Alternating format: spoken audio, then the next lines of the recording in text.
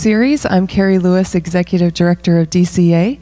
Before we begin, we'd like to thank our sponsors, Dahl Law Firm and Ross Estate Planning.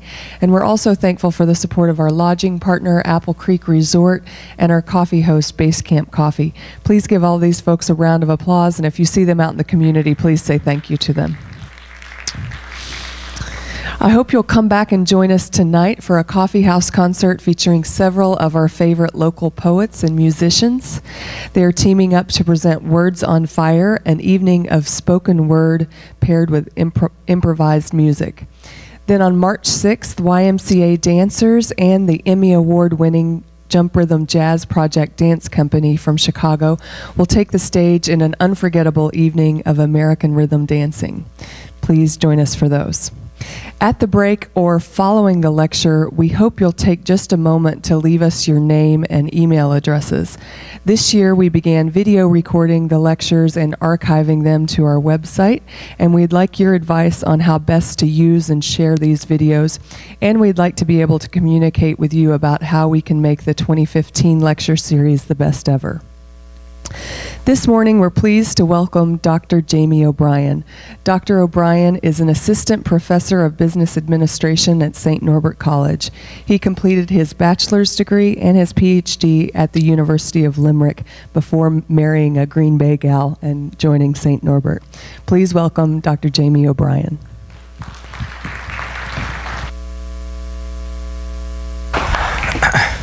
Hello, everybody. Uh, can you hear me okay?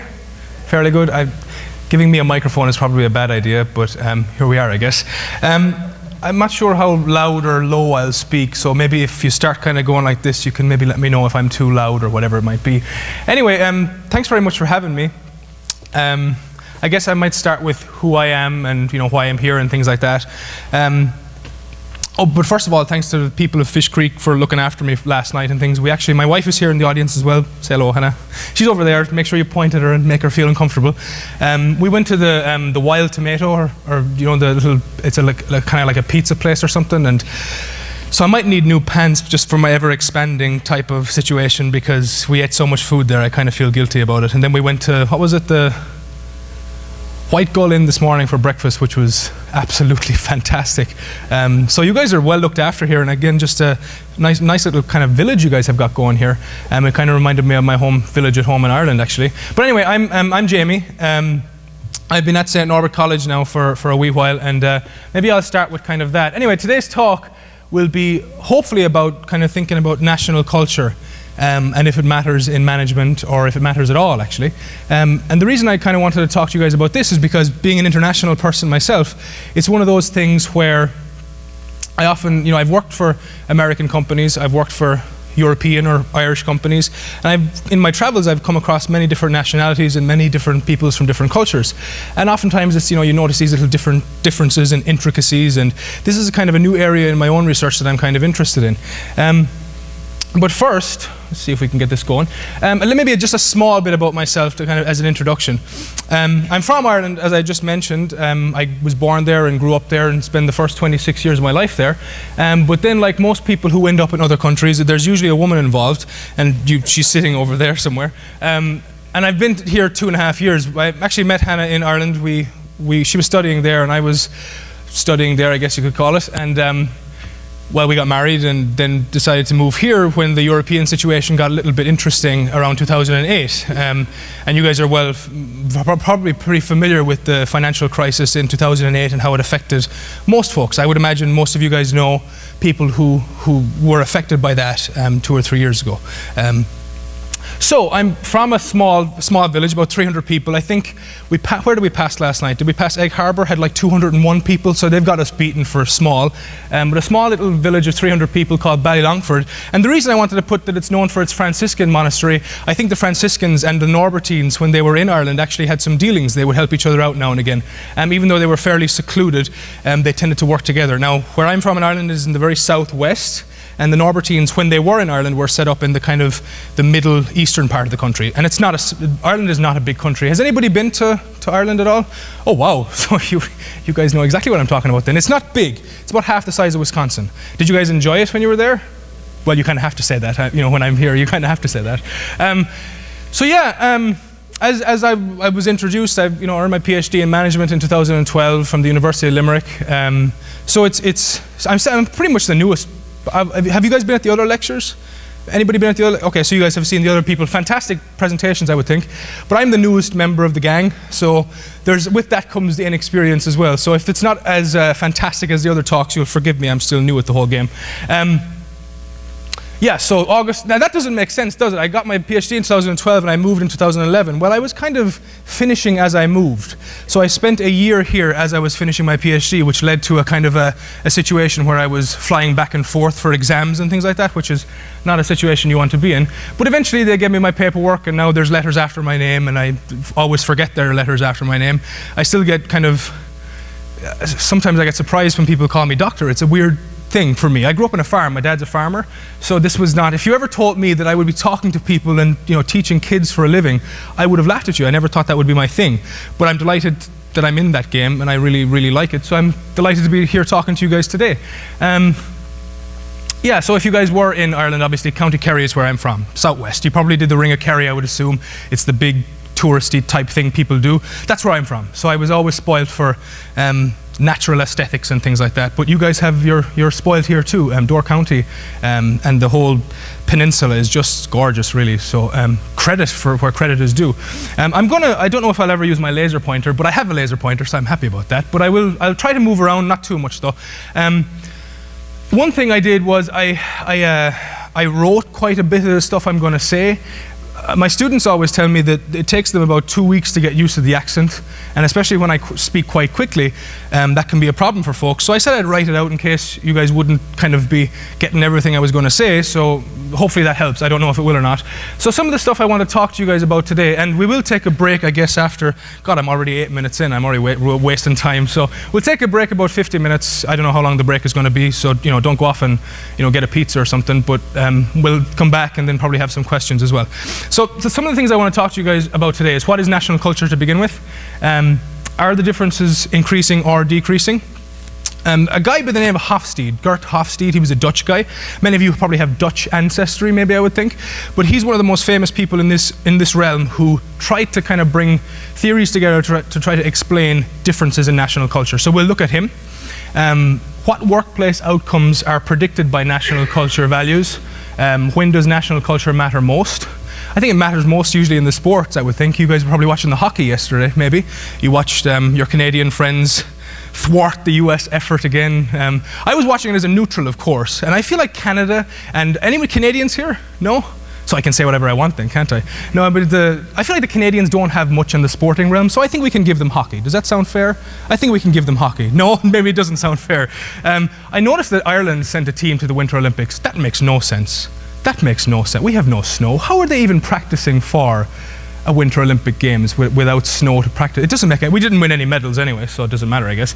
Anyway, we'll also talk about limitations of national culture as a predictor. So, what are the actual problems with this entire talk to begin with?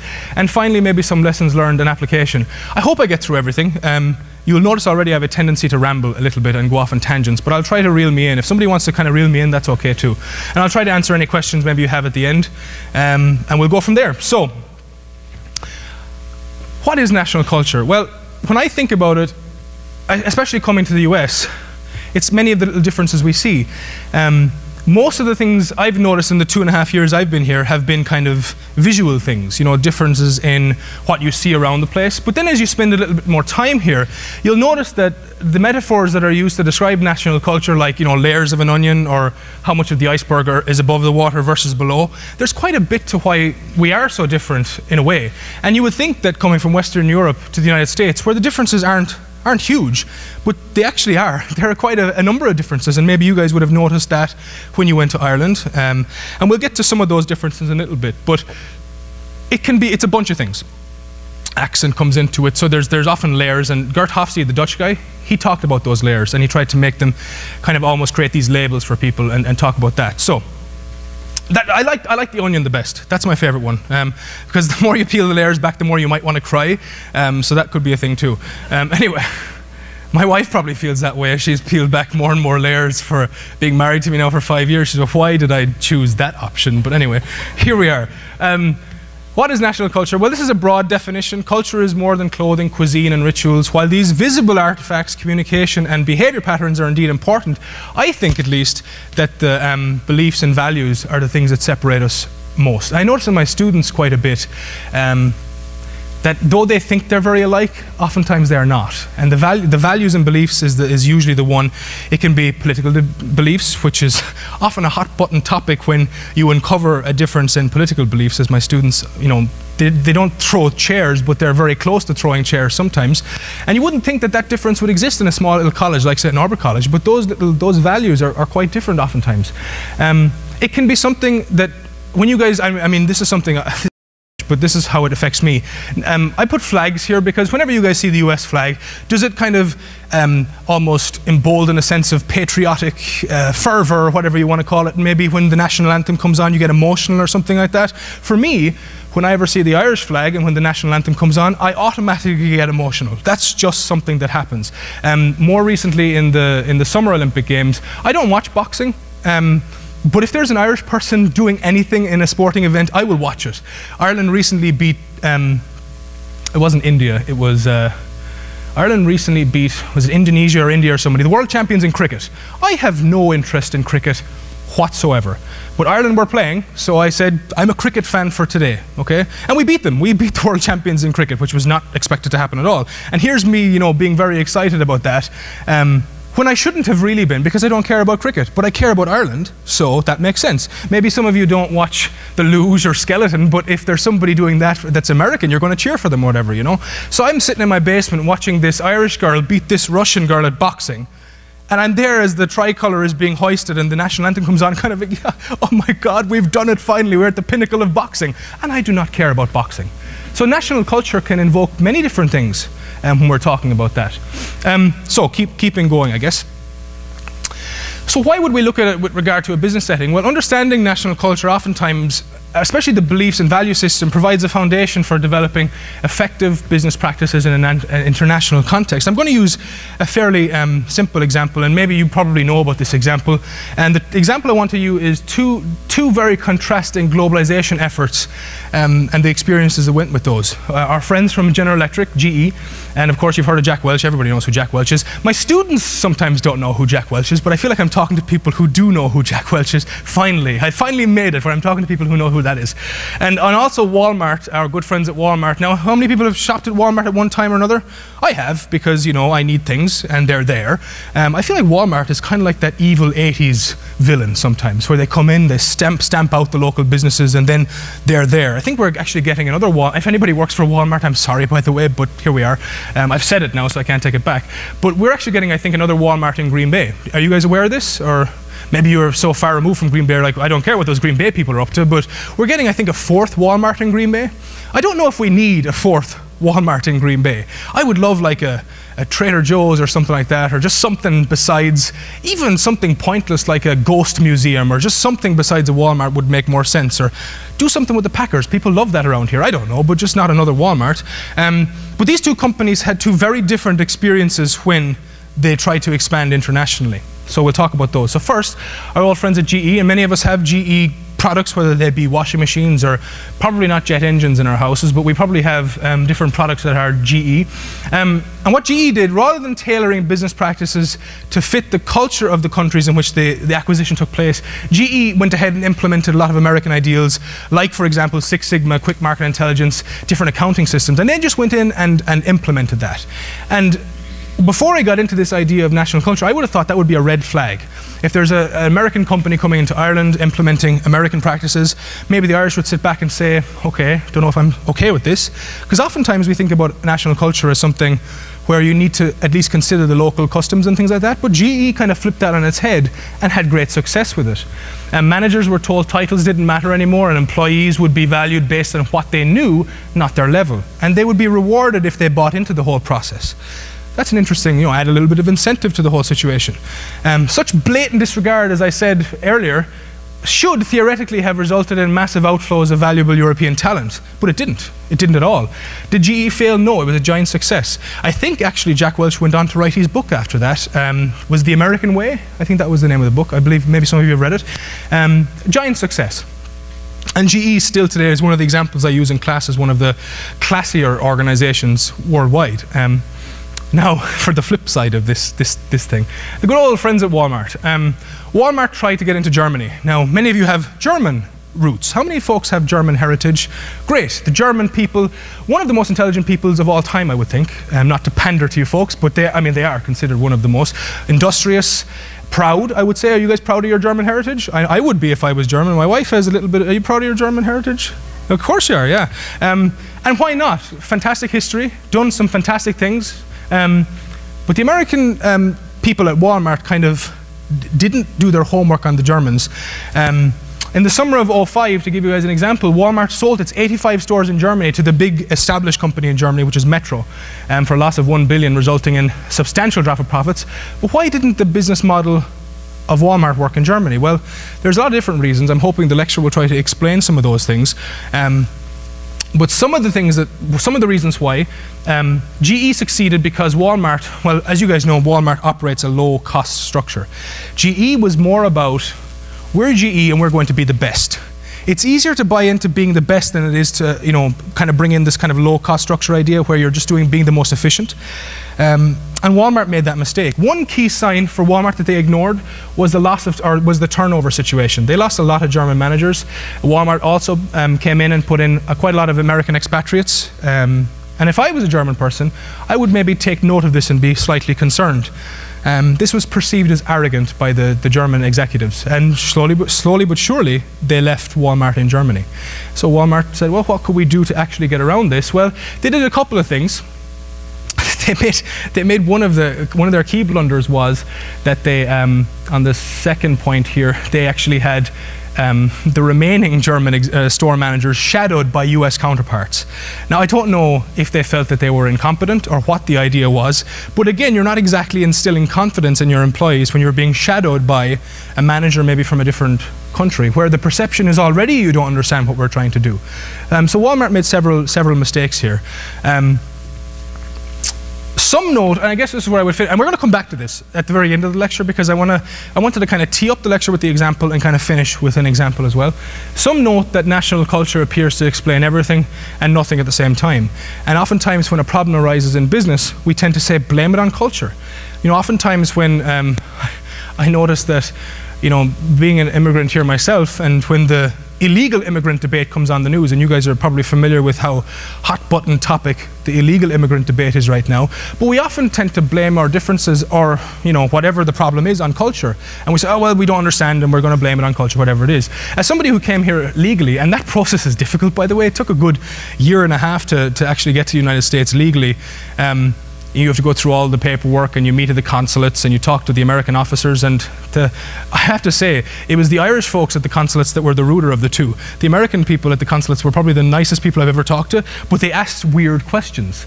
Um, to, test, to test if our, if our uh, just to give you guys a slight side story, to test if our marriage was like, you know, a, a faithful, good, non hoax marriage, you know, I was asked questions like, what side of the bed do you sleep on? Now, some folks would get kind of perturbed at that type of question, but I guess they have to ask these questions, you know. But sometimes in culture, especially with regard to, you know, immigrants and migration and things like that, we tend to blame problems on culture too, because we're not sure how it really works. So I'm going to give you some very specific examples today to maybe point out some of the things at least that we can explain here. All still with me so far? Hopefully, right, okay. I hope I'm not really starting to, to um, can you go a little slower? I will try my best, my friend. I, um, that is the common question people have when, uh, when they're dealing with me. I'll try. It's like blame it on culture. How about that? No, I will do my very best to, to go a little bit slower. Um, I don't know if I have any ability to do that, but I'll try. Thank you, though. That's, a, that's a probably a good point to do that now. Try to move a little bit of slower pace. All right. So. Are the differences in national culture increasing or decreasing? Well, in the book The World is Flat by Thomas Friedman, and maybe you guys know Thomas Friedman, he's a writer for uh, the New York Times, I believe, actually. Um, he declared that the modern world has flattened, meaning the differences in values and beliefs are vanishing, and that one size will soon fit all. And maybe before the financial crash of 2008, this was becoming the case where you had Western Europe. I mean, I've heard Ireland be called very, very, very, very, very East Boston. I've heard Ireland be called the 51st state. I, I noticed that most of my American friends, when they've come to Ireland, the, the differences between Ireland and the US are not that, um, not that huge. How many of you guys have Irish roots?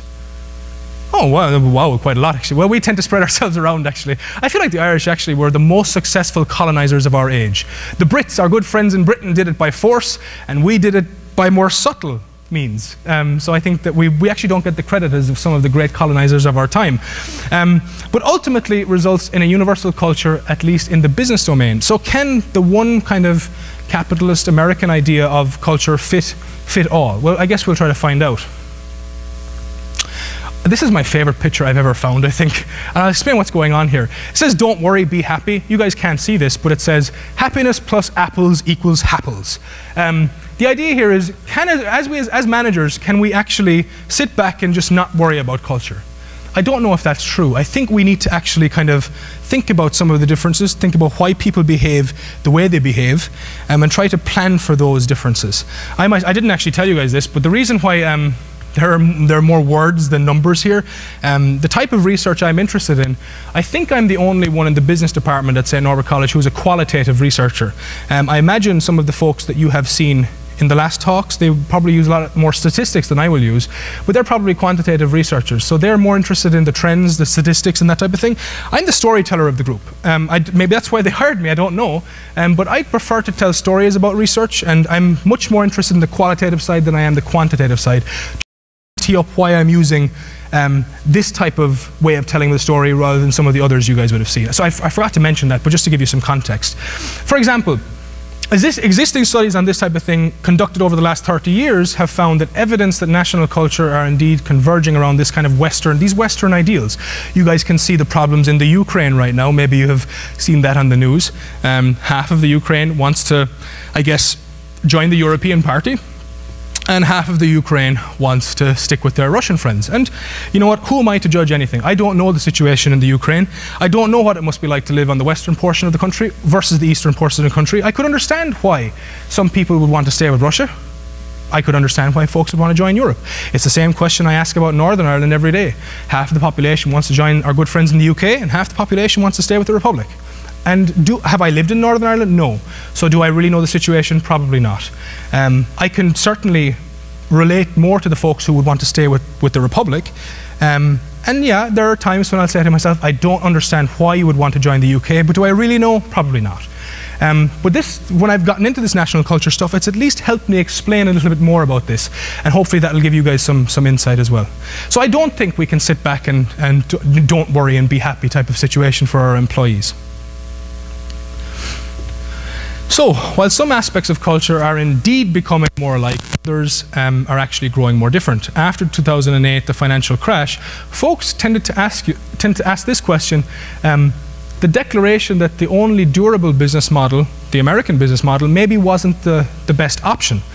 Now, that's not to say the American business model isn't a good business model, because it is. Um, but people tended to ask that question. Was it the only one that could work? So we'll, we'll look at some of the differences between, at a more labeled variety here in a second. So I guess this was when we saw this convergence and this kind of, I guess, re-interest in national culture because this isn't a new idea. This research is coming from the 70s, throughout the 80s, throughout the 90s. So this is an old idea trying to figure out national culture. This isn't me presenting this as a new idea. This has been around for a while. So I guess we would start with this question before we get into the more into the specifics, I guess. Can knowledge, this is the question I would pose, can knowledge about national culture, especially the differences, help managers predict important, organizationally relevant outcomes? And if so, which ones? So first, I guess before we can answer that question, maybe we would point to some of the cultural dimensions our good Dutch friend Geert Hofstede talked about. Um, and that's, I think, where I'll start, the broader idea of what culture is about.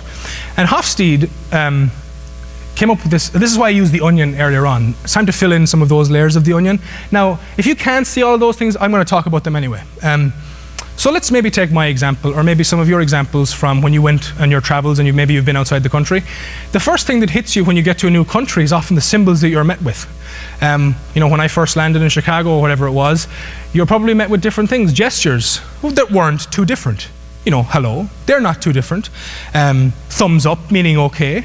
You know, one of the things I learned recently was um, I had an Iranian student, and this was in Ireland, not in the US, and he asked me if his homework was okay or something, and I gave him a thumbs up. That sounds okay, doesn't it? Well, in Iran, thumbs up means up yours. So, in a way, and I would never have known that. I would never have known that. Uh, there's no way I could have known that. But that's a big cultural difference. So the symbols that we often associate with being, you know, okay for us within our domain are sometimes completely different in another domain. You know, eye contact, for example, um, can make some people uneasy in certain cultures, whatever it might be. So the way we dress, you know, I think we're in, most of us here are in fairly Western dress now. If we transplanted the situation, it would be very different. If you go to parts of Scotland, there'd be people wearing kilts or whatever, or if you go to parts of the Middle East, we'd be, um, we'd be more covered up or whatever it might be. So there are varying differences there. And they're just on the, the symbolic or the, the things that we can see. Um, then we move to other situations here, like heroes. Um, the Western idea of this, of course, let's even take it more regionally. Green, or Wisconsin, for example. Some of your heroes here might be Vince Lombardi. Now, had I ever heard of Vince Lombardi before I came to the US? No, I had not. But I bet you guys have all heard of Vince Lombardi, and he's probably a hero to most of the people here. Am I right in saying that? I would think so.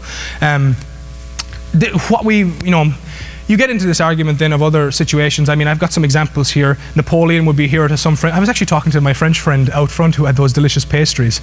I didn't think I'd have to come to Fish Creek to meet a Frenchman.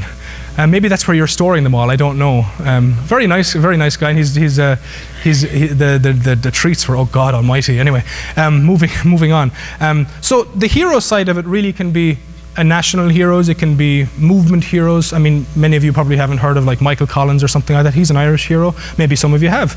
Um, I don't know if Brett Favre is still a hero around here. Some people will nod, some people will shake their heads, and some people will fold their arms. But you know, heroes change over time.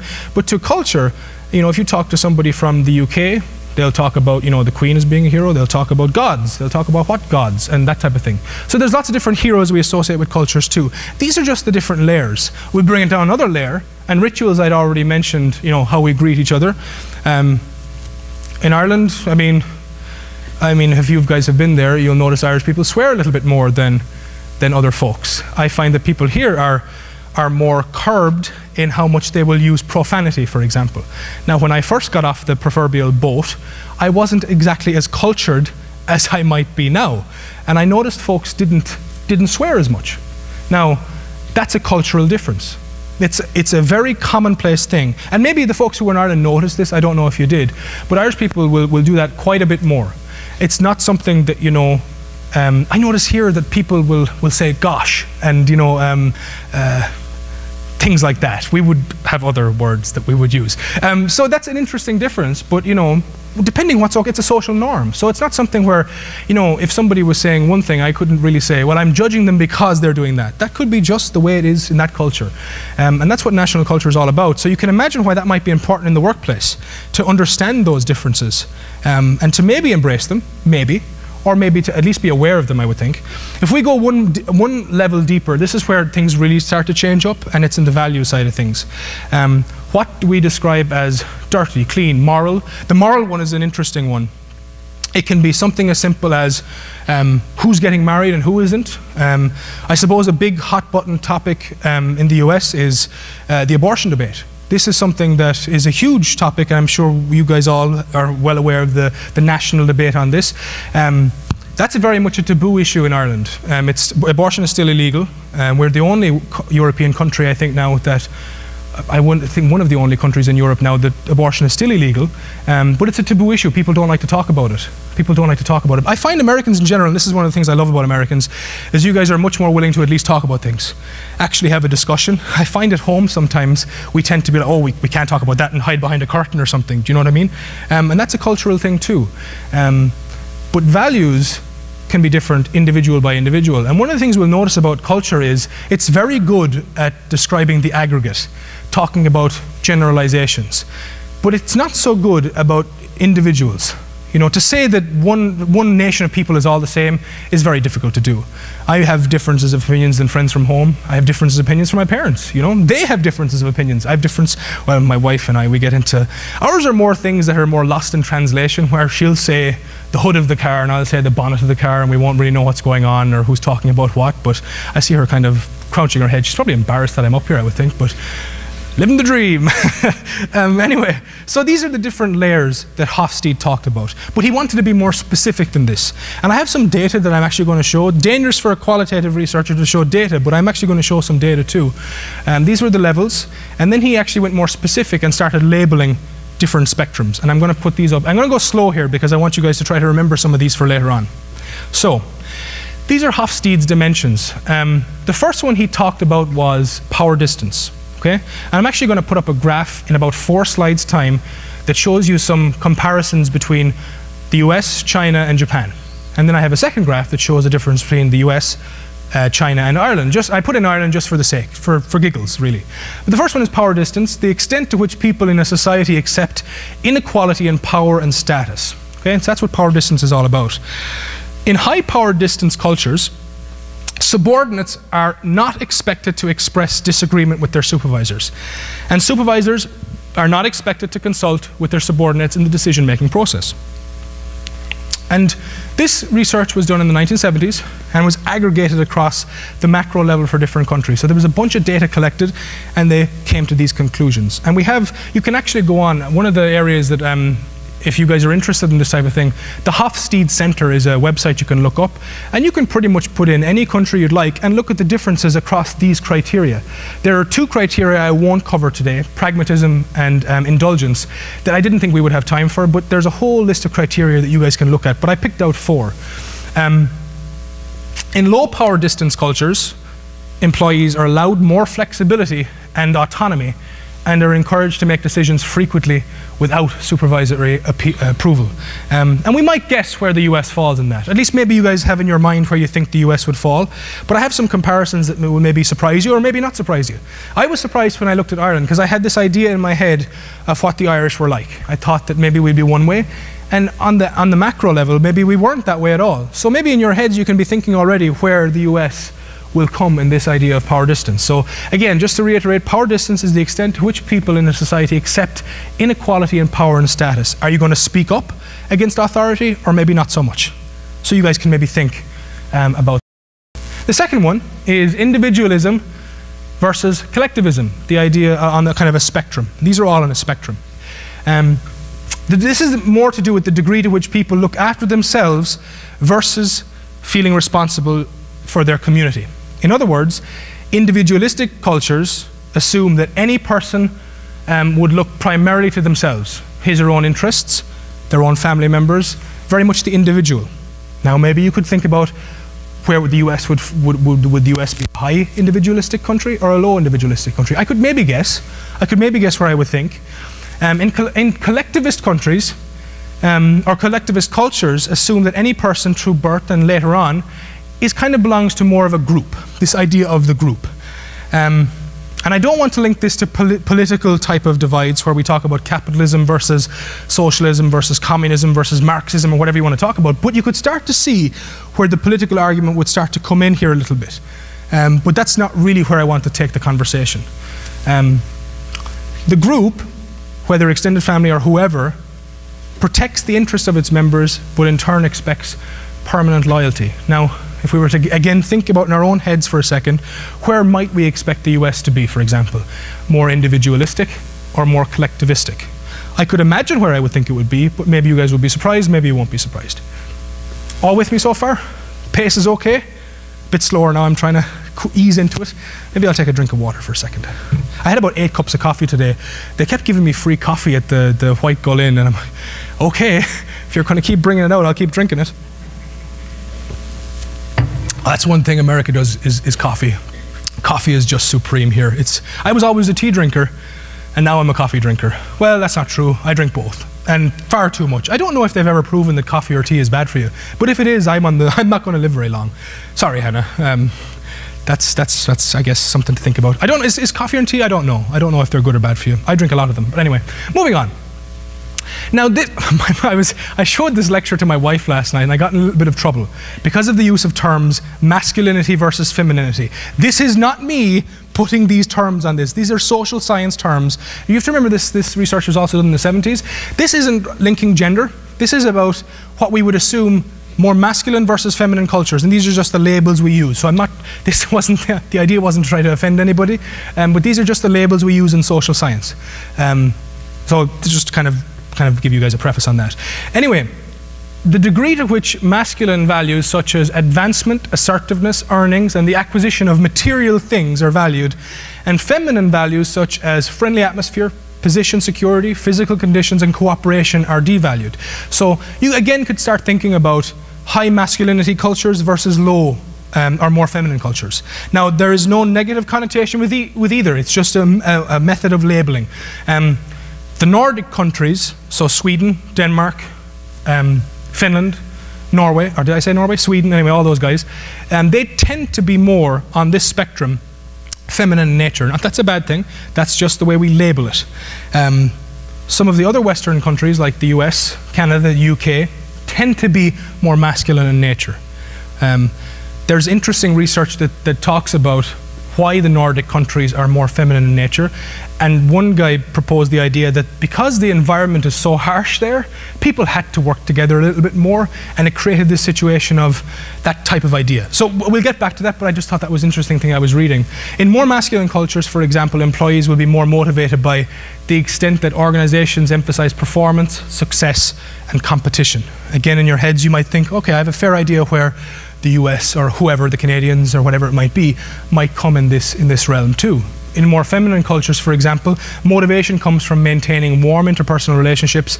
Um, there tends to be more idea of inclusion um, in the workplace. People aren't oftentimes interested in promotion. It's, it, it's, it's a more, it's an interesting difference. Um, you're talking about things like, uh, for example, promoting the societal well-being promoting societal well-being. The interesting way I always get into debates with folks on the healthcare reform, for example.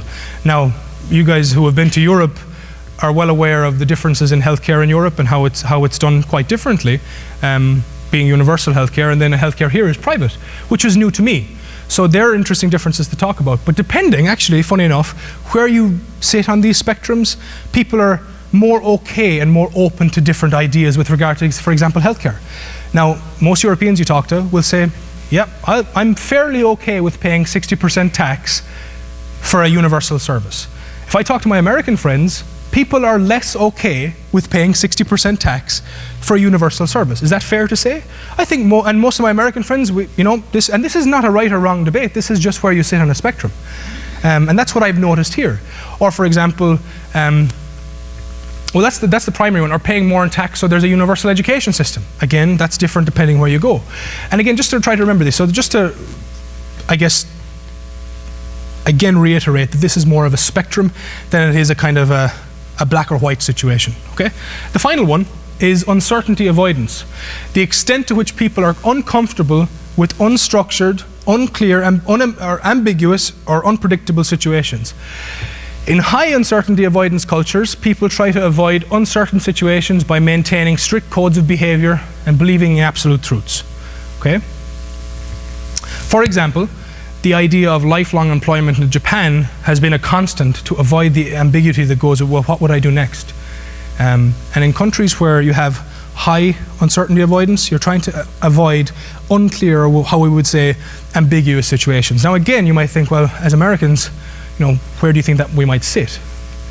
And I'm interested because obviously I live here now, so I'm very curious how people behave. And being a behavioral type scientist, that's at least where, why, where my interest comes from. In low uncertainty avoidance cultures, again, you'll see Sweden up there and some of the Nordic countries tend to be, there are fewer formal guidelines and rules for how work gets carried out. Uncertainty avoidance should not be confused, though, with risk avoidance. It's not, it's not really a debate about how where you place yourself with if you're more aggressive with your decision making or more risk averse. That really isn't what this is about. It's more about ambiguity and levels of clarity. Um, do you require direct instruction? Or do you like to maybe, you know, maybe I don't need as much instruction in a task. So that's where, excuse me, we're coming from there. Now, before I put up the data, just to kind of just go back for one second, just to remind you of the four. You have power distance, which was the extent people in society accept inequality in power. That's PDI, as you'll see on the, on the table. You had, come on, little thing, individualism versus collectivism, the idea of which people look to themselves versus the society or the group. masculinity versus femininity, the degree to which masculine values, such as, I guess I think about this as an advancement versus, again, the idea of maybe a friendly environment, that they're kind of the simplistic basic examples. So that's the third one. And finally, we just mentioned um, uncertainty avoidance. So clarity versus how much direction you might need in a, in a given task or whatever it might be. So I have two tables, and I guess this is where we'll we'll do this and then we'll take our first break. Time flies when you're having fun, by the way. Um, I can't believe it's already that time. Anyway, so I hope, can you guys see this okay? Is that okay? I tried to make it so that it would be as clear as possible. So we have, in blue, we have our Chinese friends. Of course, it's a hot button debate when you talk about US jobs going to China for very diff various different reasons. It's always on the news, it seems. Um, then I have in red our, um, oh, well, here we are, our US friends. And then I have Japan, because Japan and the US tend to be linked oftentimes with regard to business practices. Now, again, PDI is power distance, individualism, masculinity, and uncertainty avoidance you can see there. Now, maybe you look at power distance. If I was to look at the US here, um, this doesn't surprise me that people are not okay with inequality in power. So people tend, will, will tend to speak up. You know what? That's not okay. And if, and if there's somebody in authority, um, an American, at least if you're generalizing, if you're going by this data, will be more likely to speak up and say, say their piece. Um, if you look at China, for example, not going to happen. Um, I have a friend who's working in, or who did work in South Korea. And I don't know if anybody's been to South Korea. Anybody been to South Korea? Yeah? It's a very interesting uh, authority situation where, for example, if you're the, the subordinate, you bow, obviously. And if your superior bows, you have to bow lower. And you have to make sure you're always bowing lower. Um, so the power structure is very strict. Um, the idea of speaking back to an, an, authority figure is not, would, not be, um, would not be okay. If I was to supplement this with our North Korean friends, although data is limited, that would be a higher score on power distance.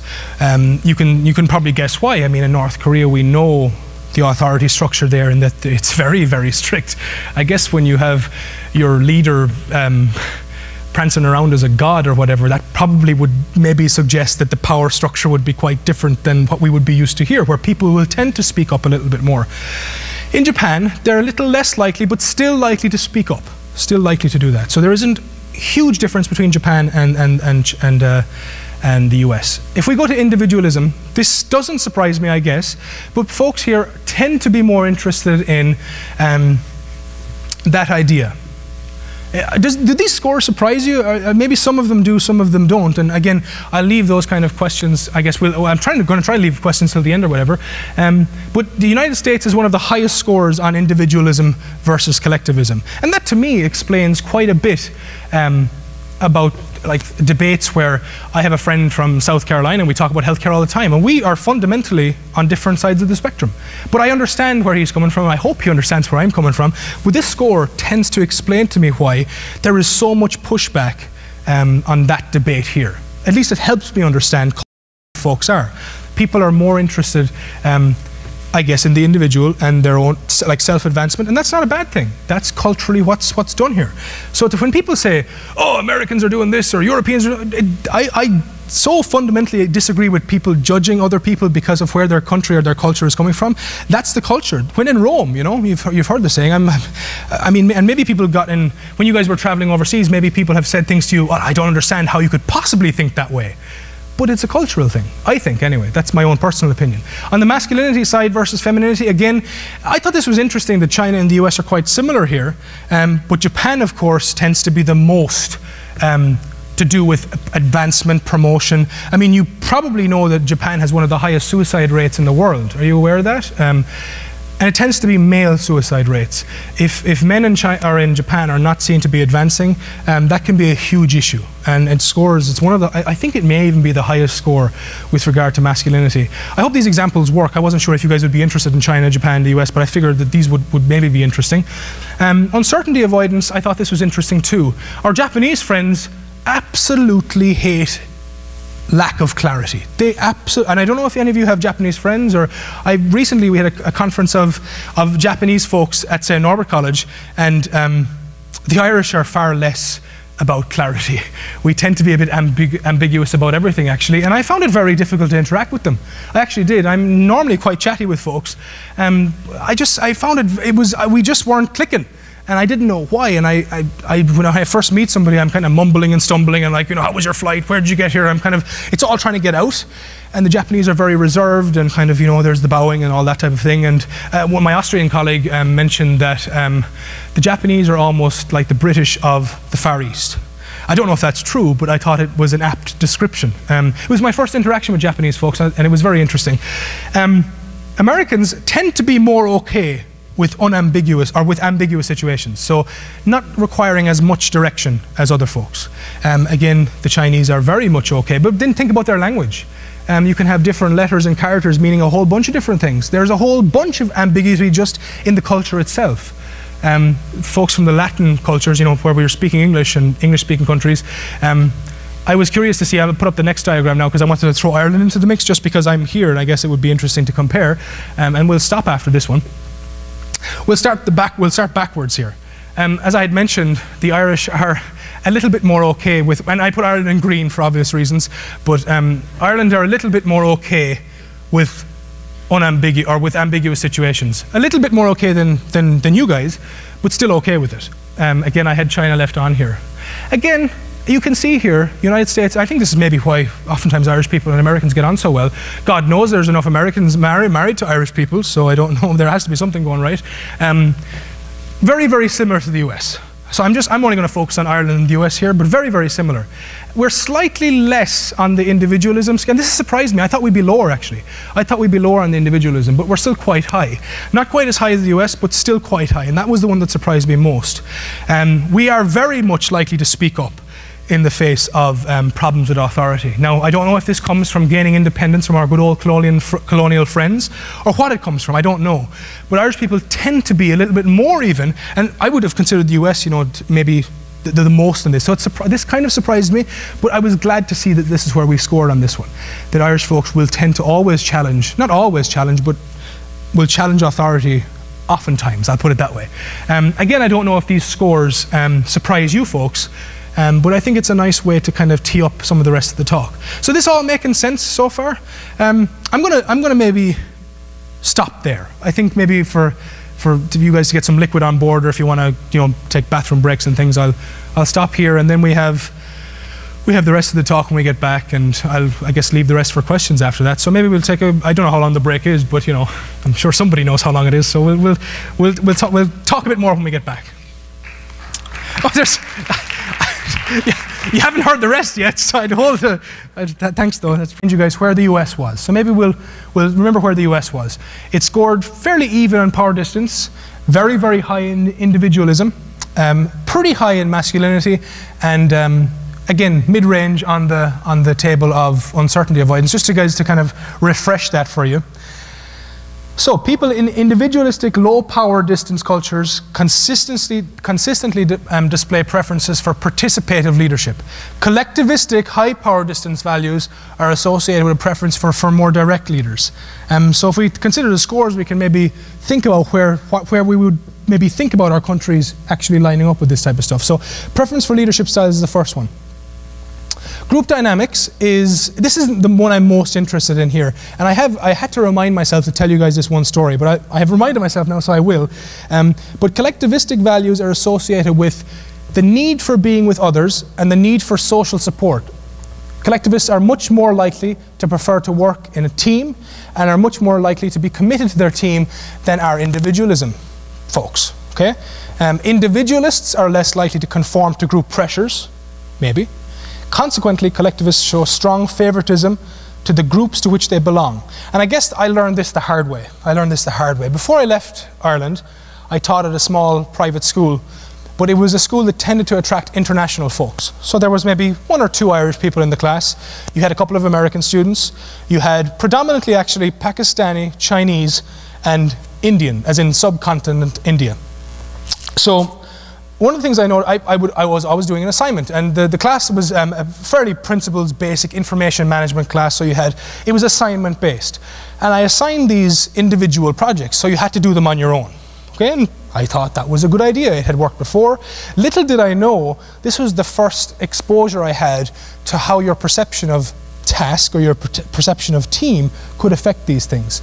My American students did fine, my Irish students did fine, but my Chinese students is where this got interesting. At the end, when I was collecting the assignments, they handed me one assignment, the six Chinese students.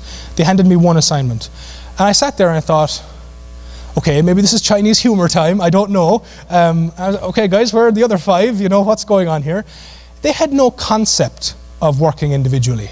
It didn't make sense to them. Um, I tried to explain what that meant. I mean, to me, and I was at the time I hadn't looked at any of this stuff. So I, I, originally thought maybe this was, you know, they, they had just I hadn't been clear. But the concept for them for working in a team was so different to how I viewed this type of thing. I, I can do an individual project. I'm happy to do a project on my own. But they had worked together, and this is what they were used to. Now I had to reevaluate, go back, and actually grade them on a. T- I, I, I kind of caved a little bit, and I said to myself, okay, I was completely off the bat here with regard to what's okay culturally. And I just wasn't aware of that difference. And that was really what sparked an interest in this whole, in this whole debate, first of all, for me, when I first had that interaction with those Chinese students. It was excellent work. It was excellent work, but it was this kind of first time I had seen this hive mind mentality that we don't tend to see here too much. I noticed that my students at St. Norbert are predominantly American, predominantly. You have some Saudis, you have some uh, Europeans, um, and my American students absolutely despise working in teams.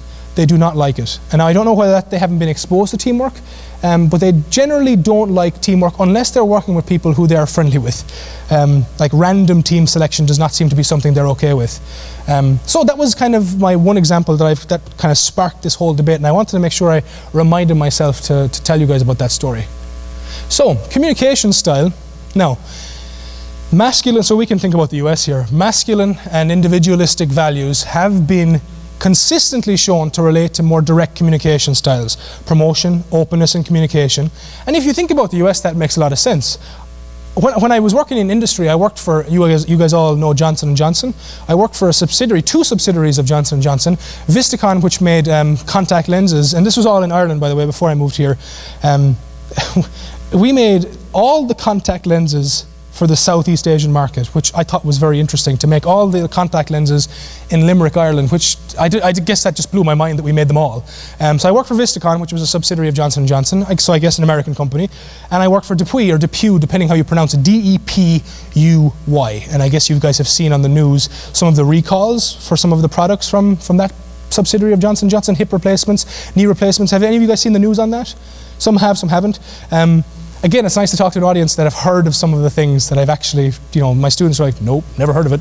Um, anyway, and I've worked for an Irish company as well, Creganna, which was a medical device company. So I had, on one hand, Irish, an Irish-owned company, on the other hand, a kind of American multinational company. And the cultures were completely different. Um, the communication style hit me the most.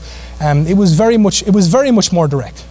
People talked much more openly about actively getting promoted and things like that. And I guess then I thought about my Irish counterparts, and you know, you'd kind of, you know, are you thinking about going for promotion? Well, you know, I don't know. Maybe I'll sing a song about it. I don't know. So it just started to kind of hit me. There is a, there's a huge difference here. And one of the things I noticed, especially in Johnson Johnson, where you had American managers and Irish subordinates, sometimes these communications didn't get across so easily. Um, one of the things I noticed was, and this isn't on here, but the perception of when the workday ends.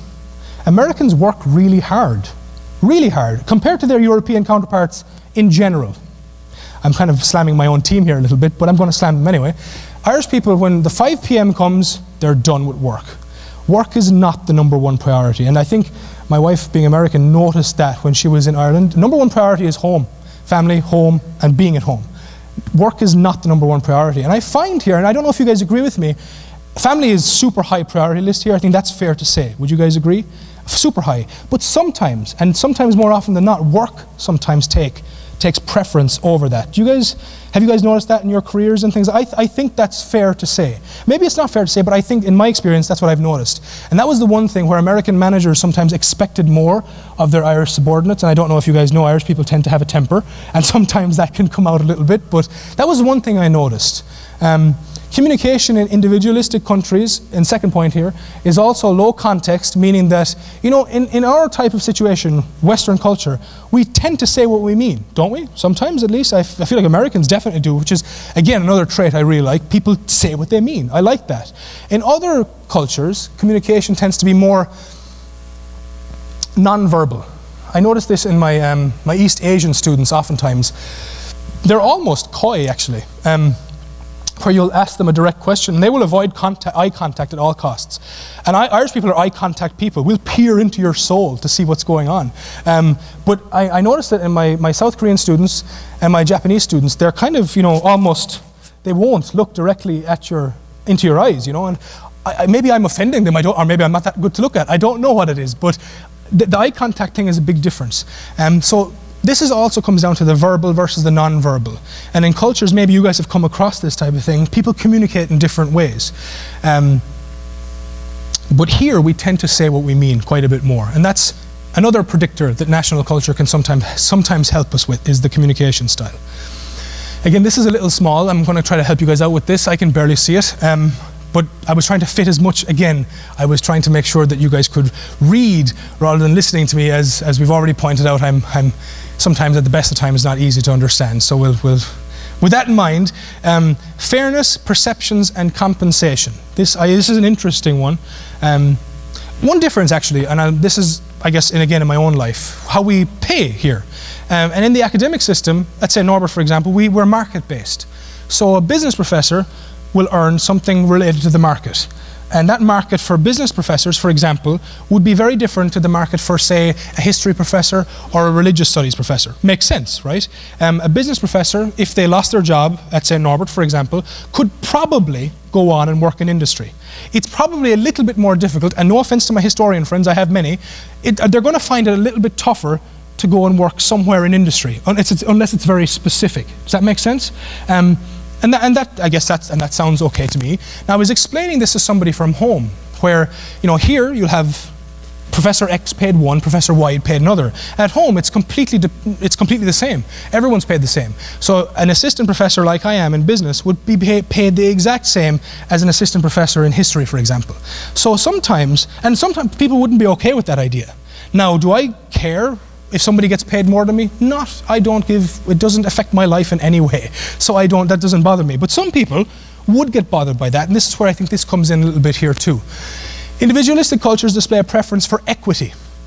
Equity rules in distribution of rewards and punishments. That is, those who contribute more are believed to deserve a greater reward. It seems to make sense, doesn't it? I mean, that, that seems fair enough. Um, collectivistic cultures tend to favor equality and you know, you can think even in your head now, maybe the political terms are coming in a little bit. Um, equality rules are much more comfortable with each member of the group receiving equal compensation regardless of effort. Regardless of effort. I had a professor once who um, somebody asked, it was an econ, an econ lecture. And was one of the students asked, what's the difference between capitalism and socialism? And the professor said, okay, well, I'll apply a capitalistic and a socialistic um, approach to grading. And in the capitalistic way of grading, people could get A's, B's, C's, and so on. And he's, when he was trying to explain what socialism meant to some people, and I'm, you know, Ireland is, is fairly on the socialism spectrum, and you guys, and know people get, tend to get afraid when you mention the big S word around the place. But he, the way he described it to us was, um, people started to get capped, and all of a sudden the D's became C's, but the A's then started to become B's, and everybody kind of met in the middle somewhere. So the D's were yay, we're up in the C level. But the people at the top were like, well, I can't get an A anymore because it, it's starting to all meet in the middle. So that was the best explanation I've ever had of somebody trying to explain what the difference was between capitalism and socialism. Now, in the capitalist version, the folks who were getting D's felt, felt that they could never get C's. So it's an interesting debate, and that's the way he explained it to us. And I always remember that example, and that was the one that made it clear for me. And that was just a simple, basic example for principles of macroeconomics students way back in whenever I took that class. Anyway, I'm going to take a drink of water because. Anyway, high power distance cultures are known for a strong preference for the seniority rule that allocates the greatest reward or responsibility to the eldest or otherwise most senior group member. Which is another inter interesting aspect. Regarding the perceived fairness of decision making criteria, individualistic cultures, in particular, when individualism is coupled with more femininity, as in those northern um, Nordic countries, we'll call them, that I'd mentioned earlier, show a strong preference for a cooperative style in decision making. So this is just an interesting kind of, if we're focusing it a little bit more down into what kind of things we see in the workplace. And this is all to do with fairness, perceptions, and compensation. So maybe some of this is making sense to you now. And the more I do in this, the more it starts to make sense to me and what I see around me. Conflict handling. My favorite thing in the classroom is conflict. I like my students to get in my face about things. I mean, not like, you know, physically attack me or anything, but I just mean like have an opinion, you know, and make sure you stand by your opinion and, you know, create an environment where people can actually debate things because there's nothing worse where people don't want to talk about things. Um, nothing gets done then. No, nothing actually gets accomplished if you don't talk about things. In the area of conflict resolution, um, collectivistic cultures show much stronger concern for the interests of the other party and strongly favour involvement of a mediator type situation to restore harmony to the group. And I guess that makes sense to me. Um, again, this idea of almost trying to avoid the conflict on an individual level and almost shying away from it in some ways. Individualists, or maybe more what we'd see here in the US, and people with more masculine values, again, no connotation with gender, with masculine versus feminine, tend to be much more vocal when faced with perceived unfairness and sometimes display their disagreement by exiting the group or quitting.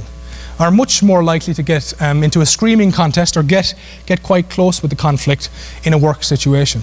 Now, these are again generalizations, and in a few minutes I'm going to talk about why this might not work, why this might not work. So that's conflict handling. Work design, obviously, I would have to talk about briefly how the work is designed, how we actually design our work in the first place. Whether how we structure our authority is important too. Individualists and people with low power distance orientation have been consistently shown to favour work design that allows for personal autonomy, flexibility, involvement in the decision making process, opportunities to make personal contributions beyond the job, and quality of personal and family time. So that's an interesting perspective to look at. People from more collectivistic, high power distance cultures, and we've talked about some of the examples, I think China was our, our best example there, perform more structured roles, clearer directions, and often feel more uncomfortable with empowerment or strong um, or the need to show initiative beyond traditional situations. And that's, that was an interesting one for me. I thought that was really interesting to think about. Oh, I wonder, can you? I mean, if I'm a manager in a company or a CEO or even higher level, I really have to start thinking about then how we actually structure the job when we go international. And maybe Walmart, and we'll get back to those folks, didn't think about how they were designing the work with regard to our German friends. And maybe I should have had the German data actually to back this up, and I could look it up. We might actually do that at the end, because I think we have the internet here too. Um, while understanding which types of workplace outcomes are likely to be affected by national culture values, managers would also benefit from understanding when culture is likely to matter most, which is what we're going to look at next. So there's some of the things that you could potentially predict in the workplace given that kind of macro national data. That's some, some of the things. Now, some of you are probably thinking, can we really predict those things? In a few minutes, I'm going to say no. So I'm going to kind of counter the argument as well. And some, some folks would say no. So the number five thing I want to talk about today, and we only have seven, so we're pushing along quite nicely. When does national culture matter most? Level of analysis is the first thing I want to look at. Are we trying to predict how culture affects an individual, a team, or an organization? Now, I, I, don't know if I had said already, I think I have. National culture is very good on the aggregate level. You know, we can make generalizations about different nations, but it's not so good on the group level, team level, individual level. I think I was talking to some of you folks there at the, at the break. That makes sense. I mean, even in this room, we have maybe, I don't know, a good 30 folks. We all probably have very differing opinions on different things. So these, this national data doesn't do a great job on the more specific individual level. But it can give us trends. It can think, we can think about different markets. We can think about how to enter those markets. Um, and I have some examples about that too. For example, you might not know whether it will rain next. I mean, in Ireland, you're going to know if it's going to rain next month because it's always raining. So that's maybe a moot point. But anyway, um, you don't know if it's going to rain on your doorstep though, but you can tell what months are a little bit rainier than others. Well, here in Wisconsin, of course, you can tell which months are colder than others, i.e., the entire winter period. Um, this has to be one of the coldest winters ever. I was not created to exist in this environment. I think I bought my first winter coat this, this year. First winter coat, I've never had some sort of, it feels like armor actually when I put it on. I'm walking around kind of like how I can't bend down or anything, but this is how do you guys, you guys are tough. You guys are built tough, tougher than I am because it gets like surface of the surface of Mercury hot in the summer and then colder than hell in the winter. So I mean, it's just, it's incredible. Um, what extremes when the people first came to settle here? You know, the Swedes, the Norwegians, were they just happy to trade home for home? Was that what they were doing, or, or were they just confused or something? I don't know. Um, anyway, um, similarly the predictive power of culture is comparatively stronger for explaining group level outcomes and weaker for explaining individual outcomes, as you might expect. It may be difficult to predict attitudes and behaviors of specific foreign citizens, but if you are setting up a, a, plant for a foreign nation, you have to think about the local side of it. So I think, thinking back to penetrating a market, I mean, you're not going to get every individual in that market, but you can certainly think on that, on that level. Does that kind of make sense? I think it makes sense to me. The prediction accuracy for groups also depends on the degree to which group members are more alike or more different. Some countries are a li little bit like that onion. Even within the country itself, it can be very, very different. I mean, that's like comparing New York to Texas. There's a big difference there in the cultural values. I have the example of here. I had mentioned earlier that Ireland is a tiny country. It's about half the size of Wisconsin area mass. You know, and Wisconsin, as you guys would probably agree with me, is not a gigantic state. Is that fair enough to say? Ireland is smaller. But then you look at the intricacies just on that small island nation and you see the differences between people who live in the south and then people who live in the north.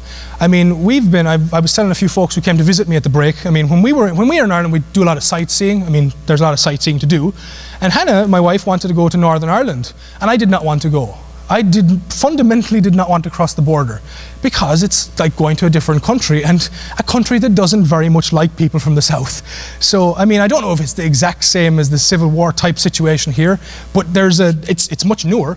Ireland only gained its independence in 1921, so there are folks who are alive who fought in Civil War. You know what I mean? So that's a very interesting thing to consider. Um, the cultural values between people who are in the border counties it's a very interesting situation because depending on who you talk to, you could be on either extreme.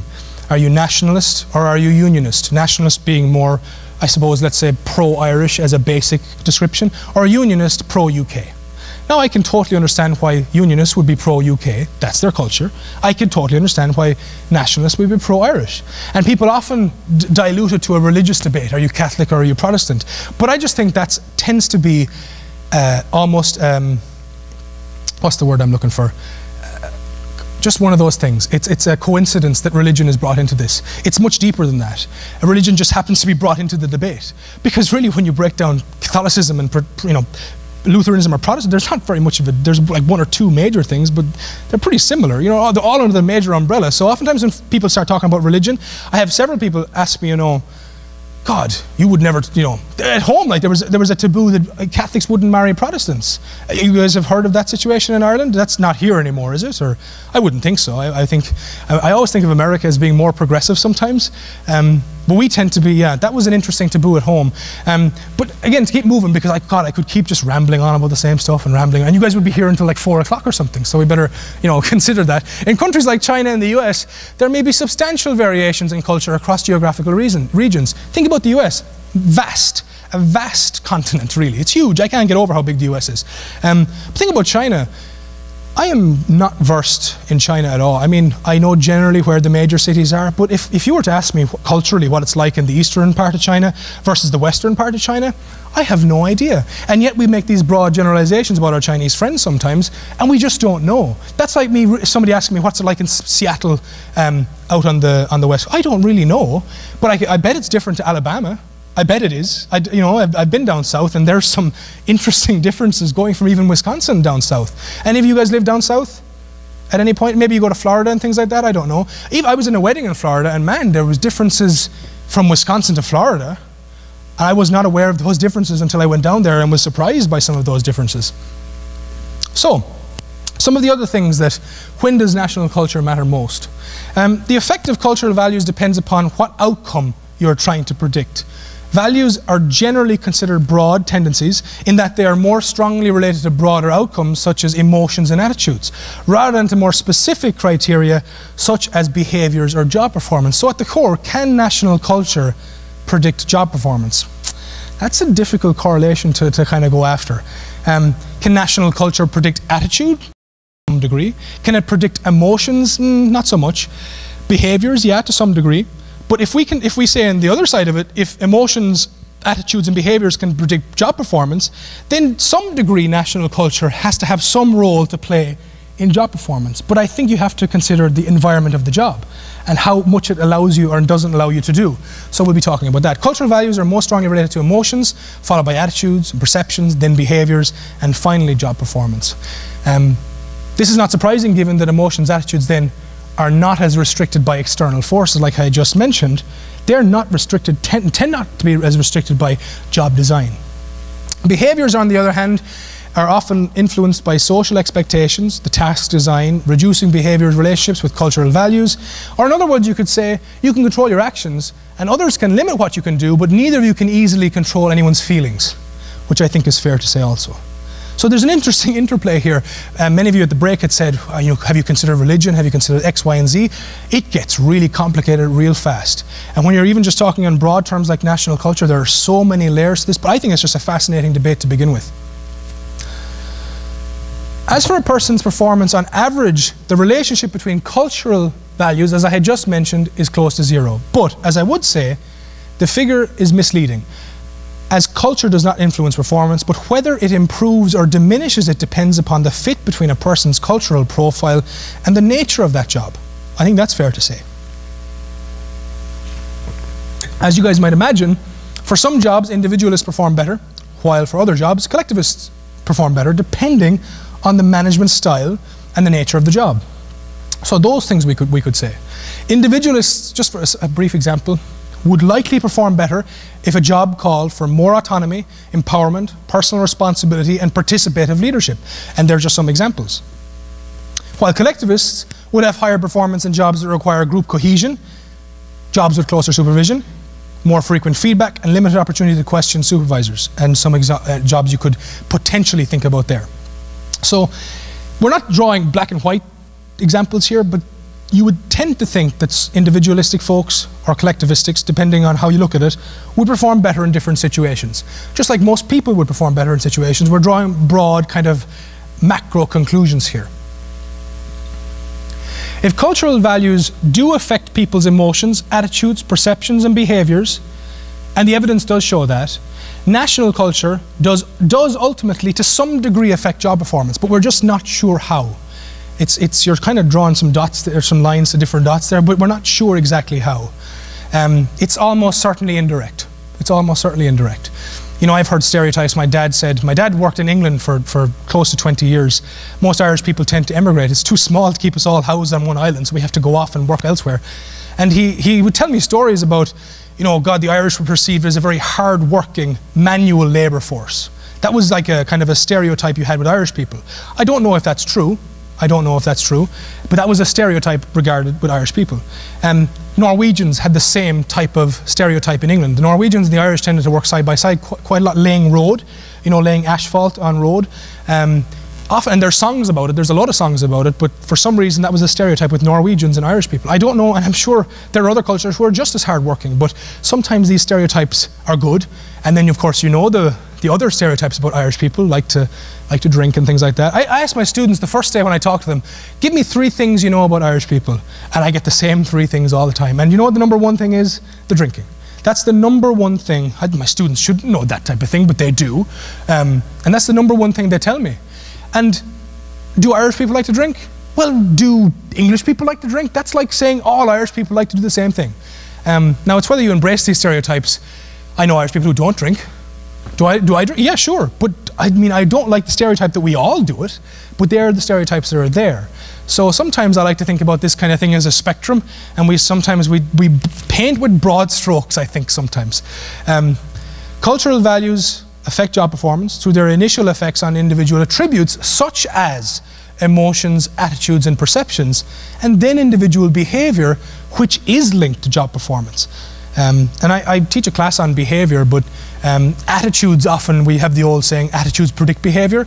But if national culture can predict attitude, and attitude predicts behavior, and behavior can predict job performance, you can start drawing a line. Now, how direct is that line? That's a different debate. Personal characteristics.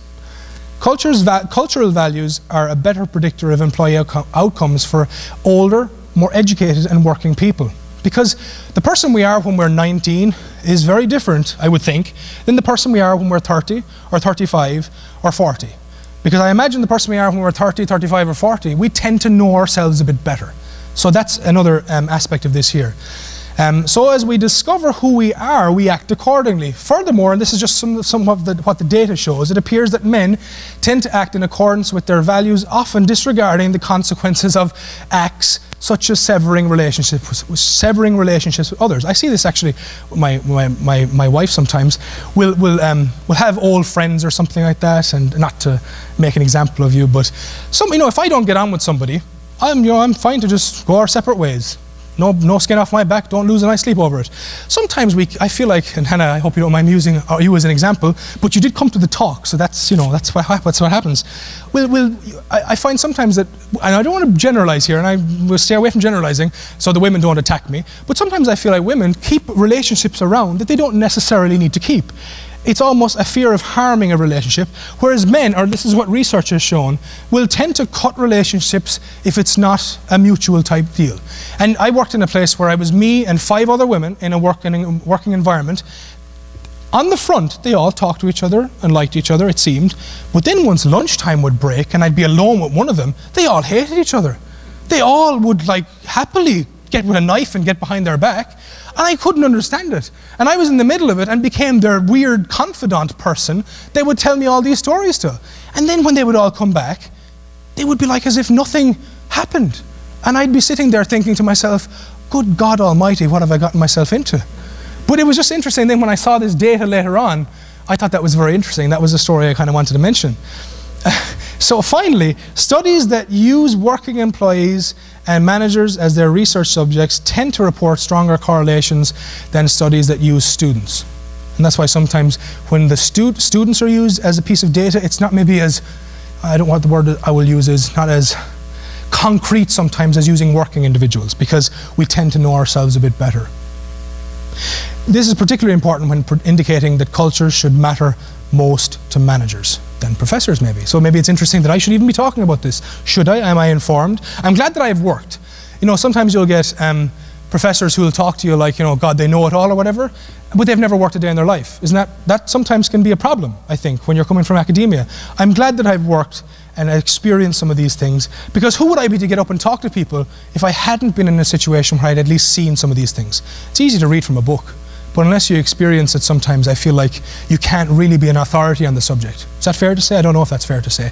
Um, I feel like I'm bashing my own, my own team again. So, the environment, of course, as well.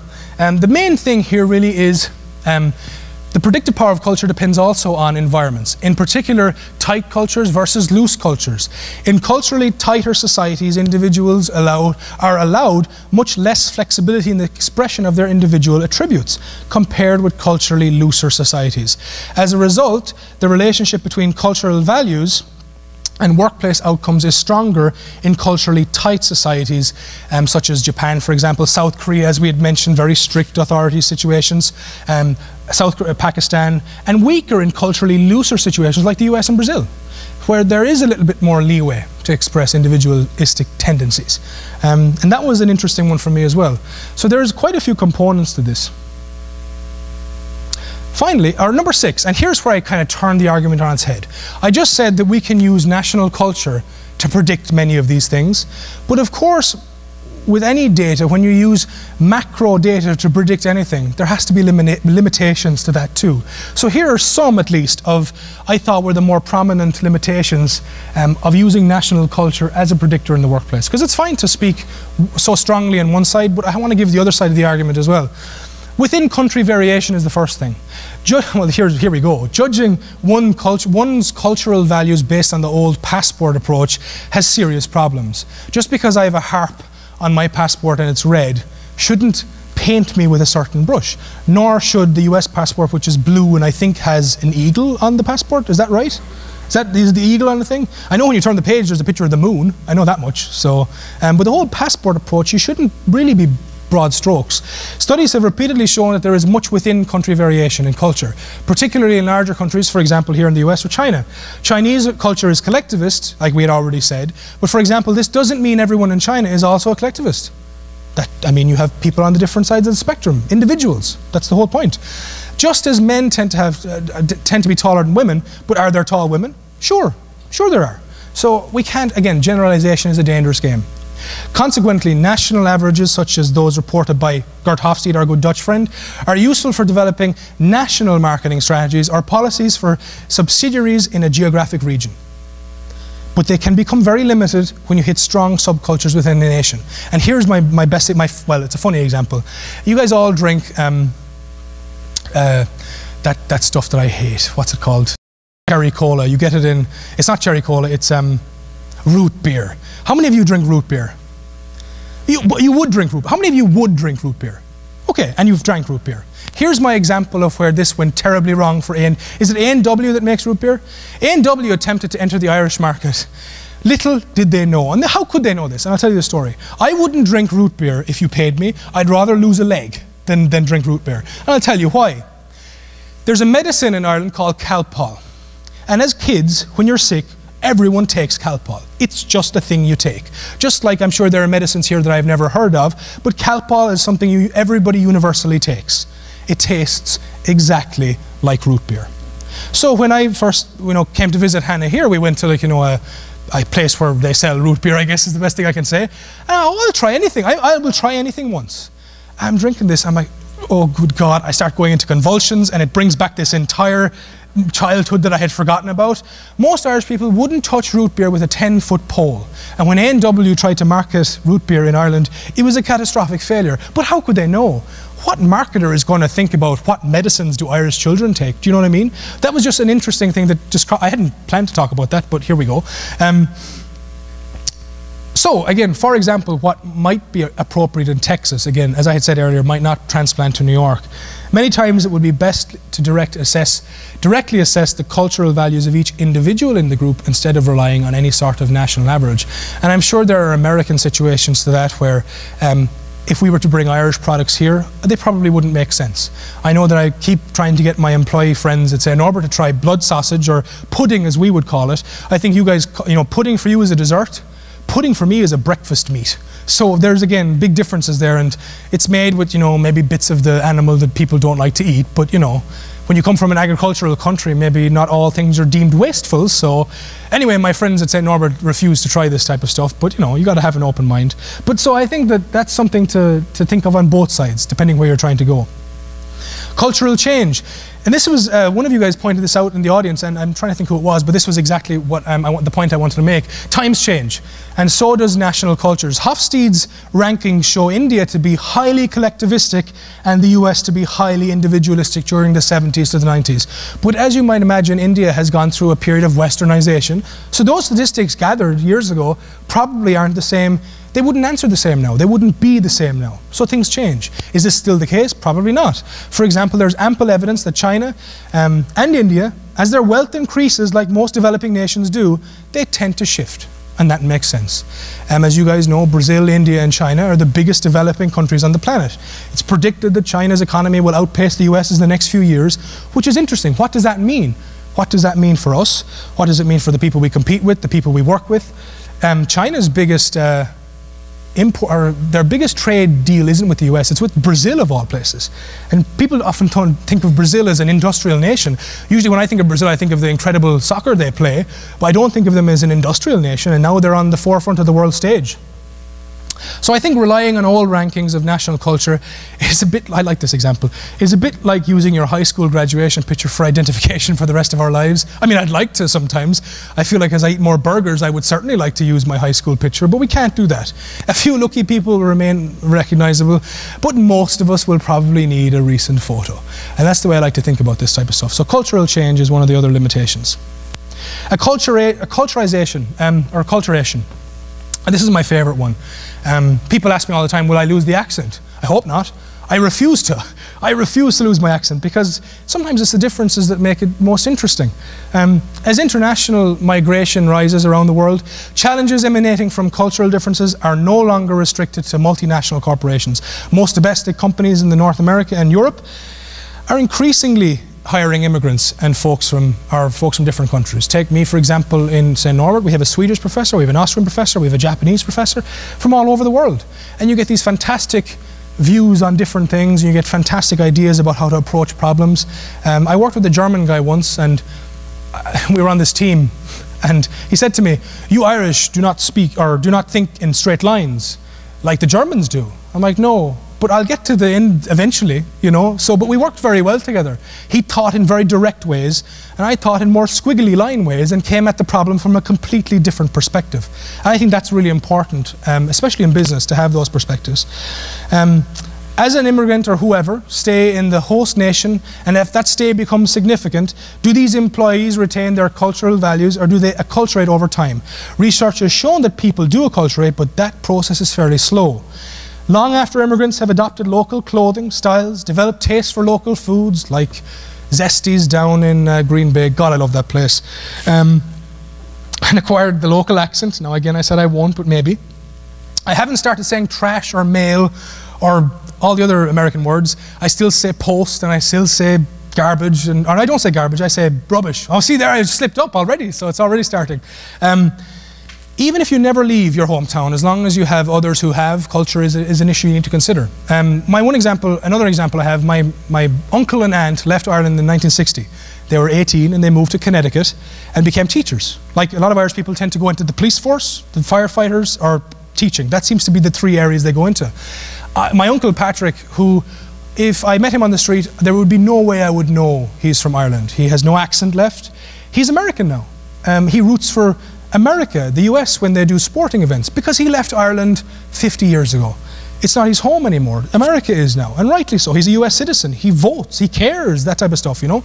Um, that's all ahead of me, you know. People ask me all the time, well, will you become an American citizen? I said, this is always my answer. I'm an Irish citizen, so I'm a legal alien right now. I'm an immigrant. And my answer always is, I will become an American citizen only if it makes sense and I care enough. Because why would you take on the citizenship of another country if you would have to stand in front of a flag and swear allegiance if you don't mean it? That would offend you, it would offend me, and surely the people you want as citizens would be the people who care enough to be citizens. Does that make sense? That's always my answer. Um, I could indefinitely remain an immigrant and stay an Irish citizen, or I could become a US citizen. I don't know where, what, what, what road I'll take. Um, but the second I start standing up and singing the Pledge of Allegiance or the American national anthem, I think that's probably time to start thinking about American citizenship. Um, but I think we have to have respect for that type of process and not just take it as a whim or as some way of getting benefits or whatever it might be. It has to be a serious thing because I take my Irish citizenship really seriously. Um, was national culture the soul? So, number seven is the final kind of few points, guys, before I wrap up. Was national culture the sole culprit responsible for the differences in su- and successes between GE and Walmart back in our example? No, it wasn't the only thing. It was not. GE did have a unique status advantage, allowing it to impose American based management practices upon European managers without incurring significant turnover. Now, I'd mentioned GE wanted to be the best. People can buy into that much more easily than being the most efficient. And Walmart didn't do a good job of communicating why that was important to German. And if you know anything about the German people, they like being the best. And that just didn't work so well for them. And Walmart fa- well, failed um, amazingly. While Walmart used its sheer size in the US, as we see them go from town to town, stamp out the local mom and pop shops very, very effectively, multi billion, trillion probably dollar industry, to get cost accommodations from suppliers, it was not able to quickly create this similar economies of scale in Germany. Partly, which I didn't mention, due to Germany's zoning laws. So there are other things just beside national culture. I don't want you guys to come away from this lecture thinking, God, he thinks that national culture is the only thing. No, there's a whole bunch of other things we need to consider. So, lessons learned and applications. These are just some broad things I thought about. You know, when you think in business, what type of things should you consider at least now that we've had a look at some of the national culture stuff? And selection was the first one. We talk about this at St. Norbert all the time. Why would you select somebody who doesn't fit culturally with what you're trying to do? And I don't mean you know broadly culturally. I mean more specific. I mean you guys probably know St Norbert really well, and you know how serious the college takes its cultural values, how serious we take the undergraduate education of our students, and how really we hold on to the Norbertine ideals of the kind of idea of community. Why would you bring in somebody who doesn't fit that? Like any business, it doesn't make sense to select the wrong people. Now, oftentimes we think about, well, we can select somebody and we can train them to be how we want them to be. But I think it's, uh, that's a much more dangerous game, especially where most employees now tend to be a 20 or 30 million dollar investment per employee over the span of a career. You might want to think about getting the best people in the door to begin with before you ever think about trying to train somebody to be how you want them to be. I don't think that works in marriage either, by the way. Um, even though maybe I need to be trained, house trained, I think, isn't that the thing? Yeah, that's the, that's the one. I'm in trouble now, probably. Anyway, moving on. Um, job design and HR strategy. Um, human resources is a, you know, a big thing we talk about in management. When expanding into other countries, designing jobs and HR strategies to match local culture, I think paying particular attention to organizational hierarchical, hierarchical design the role of managers and their relationship with their employees, the compensation, promotion, and decision making systems, customer relations, public relations, and marketing is huge. That's a huge thing to consider. Because if you can make how you manage your human resources at least some way friendly to the, how the locals are used to doing things.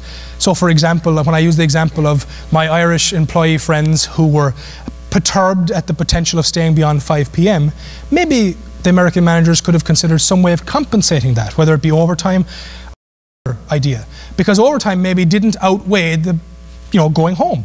Maybe they weren't motivated by money in the same way as maybe their American managers thought they would be. That's an important thing. Thought it's because perception is reality. You know, how we perceive situations is often the reality of the situation. Um, and I think that's something to consider as well. Designing products and brands to meet values and tastes of the local customers. Like my A&W friends who went so wrong with root beer, you have to consider the taste of the local people too. When advertising in local markets, highlight features of products and services that resonate with local values. I even think about, you know, in Green Bay, you attach that big G to anything and people are likely to buy it. You know what I mean? People love the Packers. That's one of those things, at least around here, that's a cultural thing to the region. And you attach that G to things and products start selling. You know, so I, I find that fascinating, by the way. I find that fascinating as an outsider coming in that there's such love for an entity.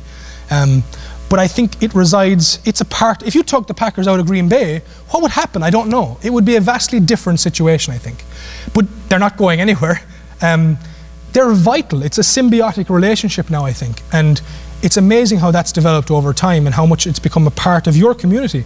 Um, I'm certain, I mean, am I a Packers fan? Maybe I'm moving in that direction at some stage. I don't know if that's going to happen or not, but it's hard not to be. It's hard not to buy into that. Employee morale, keeping in mind cross cultural differences in perceptions of role of the organization and personal life of employees. That goes back to a little bit more of my point of understanding what's important to your employees. Is moving through the ranks important? Is family important? Is what is the environment important? Are historical things important? What's important to the employee? Because morale is huge. Building your organization to satisfy employees, socialization and belonging needs in collectivistic, high power distance cultures, and economic and self actualization needs in individualistic and low power distance cultures. So that difference is huge. And again, I had mentioned it was a spectrum, and it kind of countries change over time. So what was maybe appropriate in India in the 70s may not be appropriate now.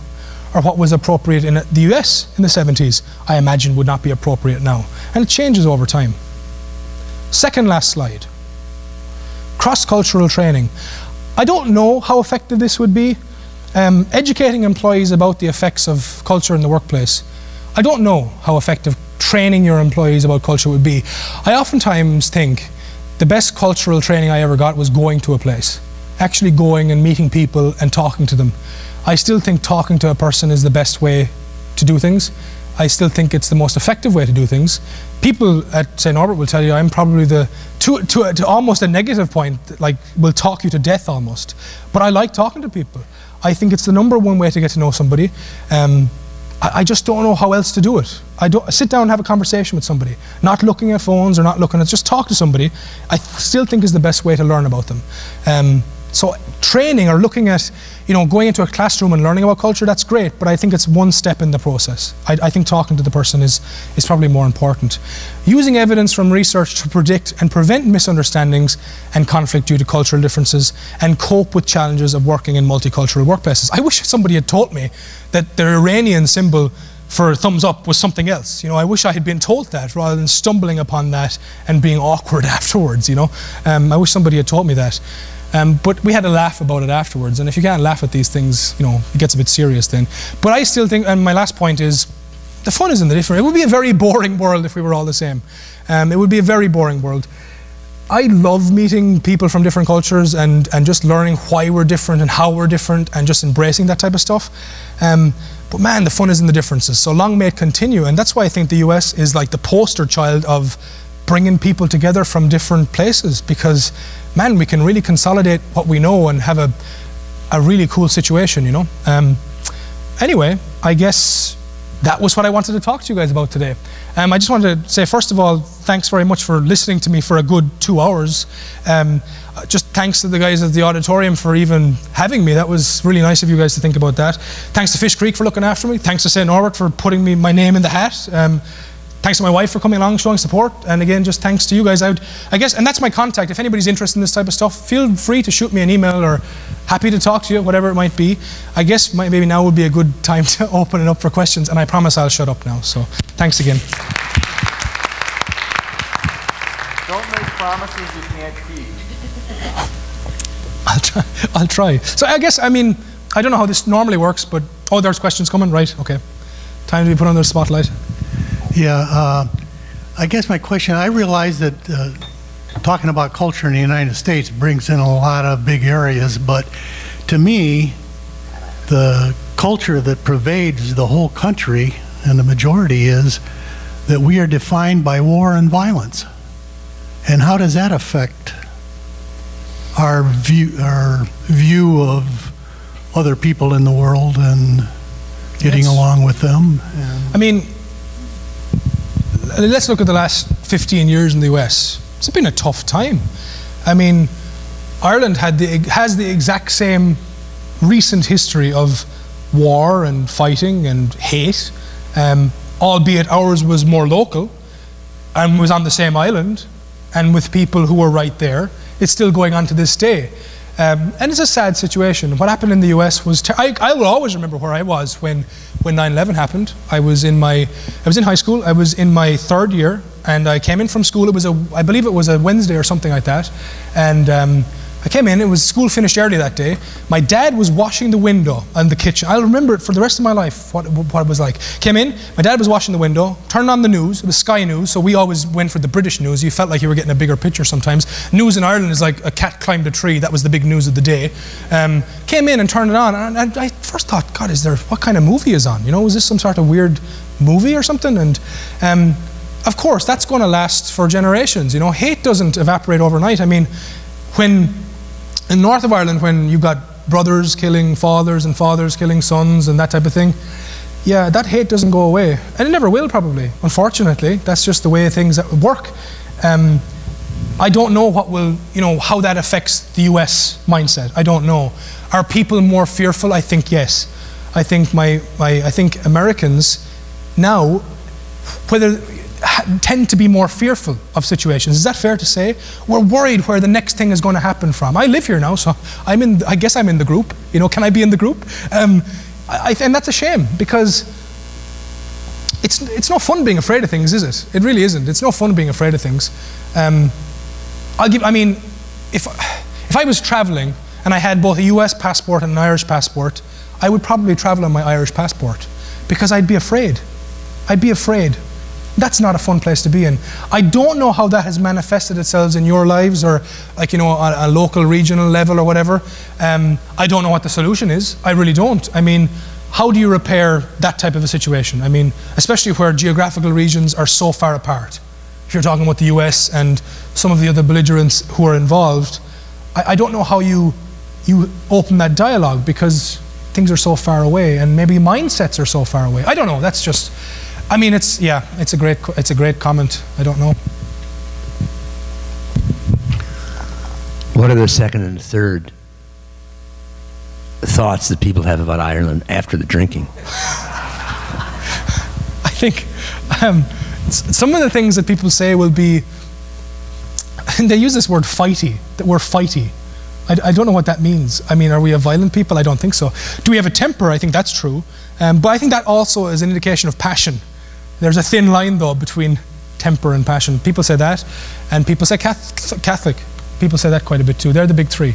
drinking, fighting, and Catholicism. I don't know if that's a good thing or not, but when people have talked about, give me three things that come to mind when you say Ireland, I would wish they would say music or something, because that's what I'm most proud of, of our music. Um, I, I'm not proud that we have a stereotype of being fighty or whatever. I think we're much more defined by some of the things we've done in literature. Our history is a proud history. Um, refuse to be put down. Winston Churchill once said, and um, Winston Churchill is considered a great man. I personally don't like him, but anyway, um, he said that he couldn't understand why the Irish didn't want to be more English. And that sums up to me exactly why we didn't want to be more English. Um, those small cluster of islands are some of the most unique people on the planet the Welsh, the English, the Scots, and the Irish. Vast different histories. And to think of them as one group, I think is not fun. I think it's cool to have four different, very distinct groups. Ireland and England play in rugby today in the big European rugby league where England will, if, if Ireland beat England, we win the whole tournament, which never happens. So I don't know how, what, what the score is right now, but um, I'm really keeping the fingers crossed that we beat the old enemy. But um, they're the other two things. I see I could ramble again, but they were the other two things. Fighty and um, Catholic. I, I guess, is that how we're defined? I don't know. Oh. Uh, yes, could you explain a little bit how these Hofstede scores are actually derived? Yeah, the actual the way they did it was in the 70s they took a big bunch of multinational corporations and surveyed those groups. So again, you could even talk about the limitations about doing that. How reliable is that data? But that's how they did it by survey in the it's I think it started in 1973. Don't hold me to that now, that's when I think it started. Yep. How important are cultural differences in different industries like healthcare, manufacturing, computers? Well, I think, I mean, that's a, good, that's a very good question. Um, think about what drives manufacturing and those types of industries. Manufacturing has traditionally been driven by standardization. So maybe thinking outside the lines probably isn't such a good idea in manufacturing. Any of you worked in manufacturing?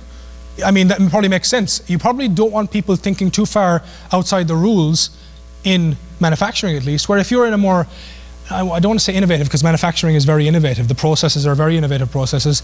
In a more, um, in industry, we, um, we think about creativity a bit more, would be maybe the Googles of the world, um, Microsoft or whatever, where even Apple, where you're you're hopefully having people, they are thinking outside the lines because you don't want people going on with the industry standard.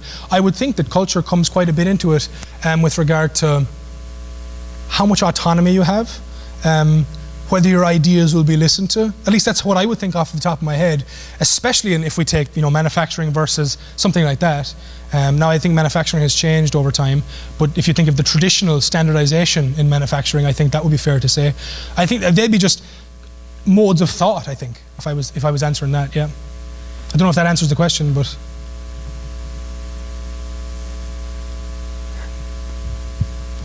How useful are focus groups in determining local culture? I think that's. I mentioned at the very end of the talk that talking to people is, at least in my opinion, the best way of discerning any problem. I think focus groups are the most underrated way of figuring things out. If you get a small group of people talking together who, you know, somewhat trust each other and can focus on like whatever specific problems you have, I don't think, I mean, how reliable is macro data that's been surveyed? You can't get people to tell a story. Now, I'm biased because that's the type of researcher I am. I'm all about the story.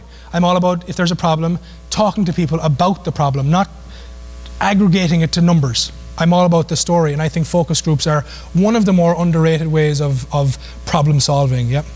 So I think they, they would be very useful in determining local culture. Yeah, that's a great point. Thanks again, Dr. O'Brien. Yep. Thanks to all of you for being Thanks, here for our final lecture. We hope to see you back here tonight and uh, back here on the 6th as well when we have a dance company. Much appreciated again, guys. Thanks again.